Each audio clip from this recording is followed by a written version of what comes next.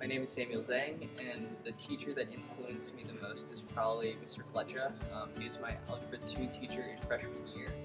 Um, him being an electrical engineer and then becoming a teacher uh, really allowed me to, I guess, understand that I should do something that I really love, and I really like math and science.